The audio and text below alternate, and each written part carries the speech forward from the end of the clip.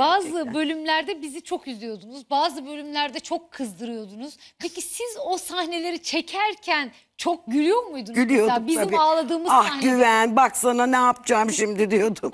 seni hızır seni gene beni üzeceksin diyordum. ya da ama güven niye bana böyle yapıyorsun diyordum. Ama hak ettin şekerim diyordu. Eğleniyorduk aramızda. Çok güzeldi. O bahçede de güzel muhabbetleriniz O bahçede olmuştu. ne düğünler oldu ne nişanlar Evet. yaptık. Çok güzel günlerimiz Gitti- geçti. Gidiyor musunuz hiç? Yolunuz düşüyor mu o konağa? E oradan geçtiğim oluyor tabii çok. Şöyle bakıyorum. Zaten orası çok meşhur bir konaktır. Evet. Çok film çekilir orada. Evet. Geçiyorum ve böyle ah ah diyorum gidiyorum. Günün uzun saatleri herhalde evden daha çok Tabii. konakta geçiyordu. Elbette elbette. Birbirimizle ve o konakta.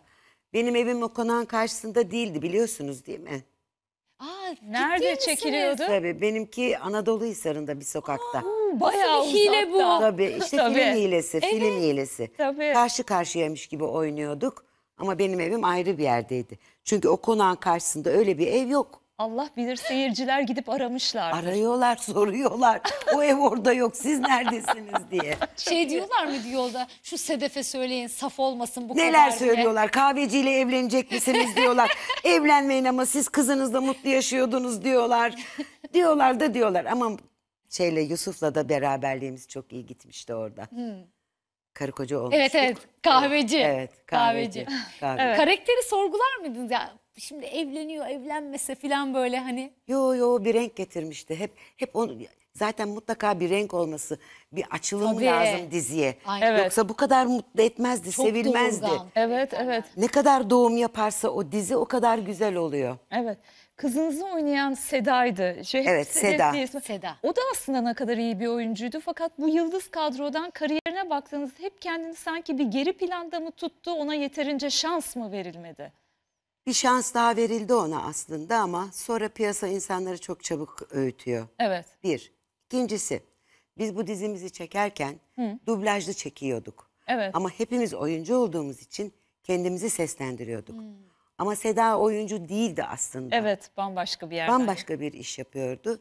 Oyuncu olmadığı için di- diksiyonu konuşması yeterli değildi. Bir seslendirmeci arkadaş onu konuşuyordu. Evet. Yani o ses onu yaşatıyordu. Ses çok önemli. Kesinlikle ve Çok tiyatrocularda önemli. hep Ses ses çok müthiş. Bakın nasıl hafızada kalıyor ses. Evet. Ses demişken Evet. izleyicilerimiz de yazmış. Keşke hep Bediye Ener gelse ve hep o konuşsa.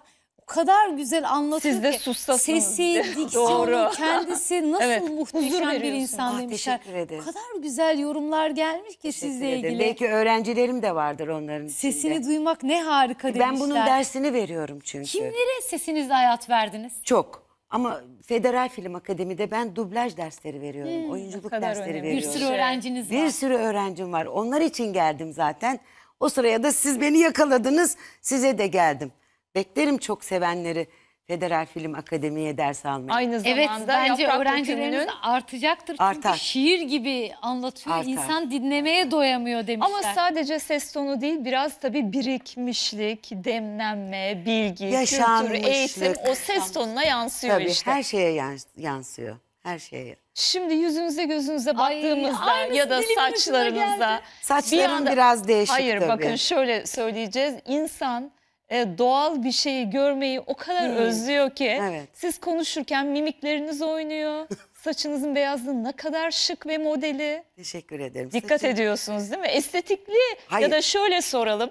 Estetikli meslektaşlarınızı görünce ya kim tanıyamıyorum noktasına geldiğiniz oluyor mu?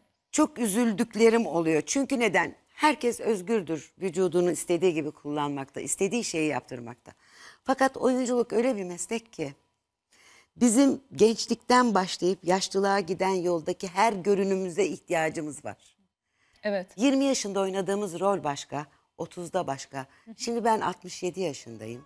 Maşallah. Ben 67'yi yansıtabilmeliyim ki anneanne olabileyim. evet. Doğru. Çok ben şimdi doğru. artık başka bir şey oynayamam ki. Doğru. Ya anneanneyim ya babaanneyim ya da olgun bir anneyim. O zaman bana bu çizgilerin, bu mimiklerin, bu saçlarım lazım. Bunları değiştirirsem anneanneyi, babaanneyi kim oynayacak? Geçenlerde Suzan kardeş isyan etti. Makyaj sanatçısı aynı zamanda oyuncu.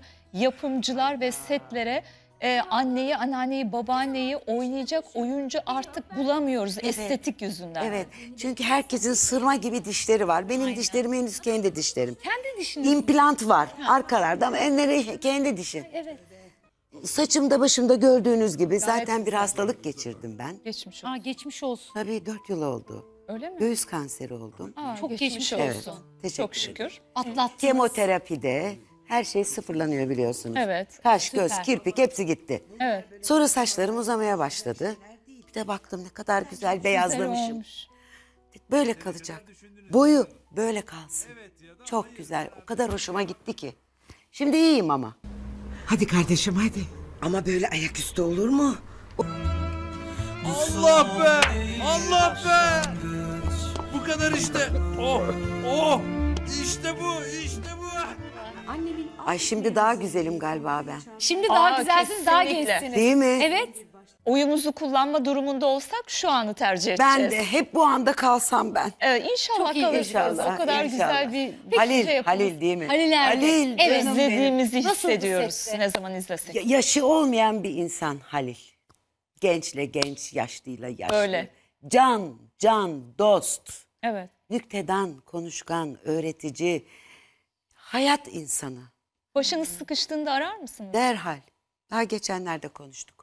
Bıdı bıdı bıdı bıdı bıdı konuştuk. Hadi benim güzelim, hadi benim canım. O da geçer, bu da geçer. Kapattık telefonu. O kadar tatlı bir insan. Hiç bağınızın kopmayacağı bir dost. Çok güzel günlerimiz oldu. O final final sahnesinde e, spoiler vereceğiz şimdi ama artık herkes izlemiştir. Ali Rıza Bey'in e, ölümü e, o sahnede biz izlerken ben hala izlerken çok, fenaydı. ağlıyorum. Siz izlerken ne hissediyorsunuz? Çok ağlıyorum. Yani birazdan ağlayabilirim bile. Yani o dizi niye bitti ona bile üzülüyorum ben. Daha daha oynasaydı o sülale, o aile Giderdi. devam edemez miydi? Giderdi. Herkes neler söyledi. Aman şu kadarcık romandan ne yaptılar? Aman. Bildiğimiz roman 100 sayfa bak kaç yıl sürdü. Ne oldu bitti? Yazık değil mi? Oynayıp duruyordu işte. Keşke hep beraber bir araya gelseniz bir sinema filmi çekseniz. Oluyor ya böyle dizilerden Keşke. sonra böyle bir Keşke. tekrar bir ne araya kadar gelmeler. güzel olur. O Aynı kadroyla. Aynı kadro. Koşarak gideriz. Evet. Koşarak gider oynarız. Biliyor musunuz biz oyuncular sevdiğimiz şeylerde, sevdiğimiz insanlar olduğu zaman hiç para pul aklımıza gelmiyor. Ne tuhaf insanlarız değil mi? Evet. Halbuki hayatta para çok önemli. Evet. Evet. Yaşamamız için gerekli. Tabii. Ama bizler için hep sonradan geliyor. Bazı genç meslektaşlarınız çatır çatır pazarlığını yapıyor. Bölüm başına 200 bin TL alırım, 150 bin, 250 bin alırım diye duyuyorsunuz onları Evet. mutlaka. Senaryodan önce e, bölüm başı pazarlığı yapanlar var. Evet, onların 13 bölümde aldığı parayı biz mesela 5 senede alabiliyoruz ancak.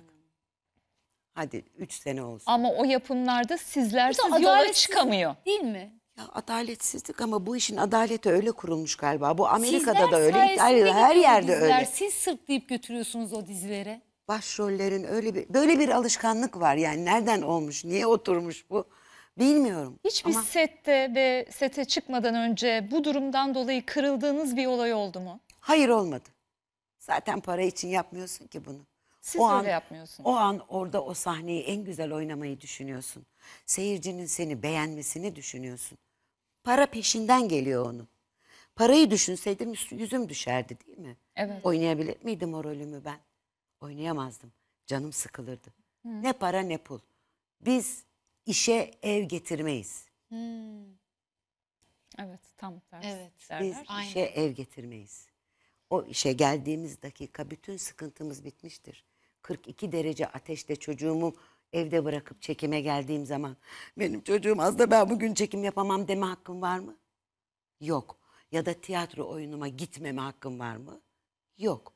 En emin ellere bırakıp sürekli telefonla takip ederek şimdi ben o evi işe getirirsem ne kadar verimli olurum?